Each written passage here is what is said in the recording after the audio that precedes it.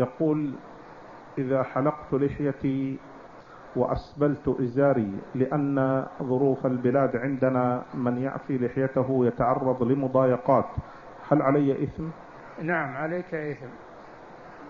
لأن الإسبال كبيرة من كبائر الذنوب. وحلق اللحية معصية ومحرم. ولا طاعة لمخلوق في معصية الخالق.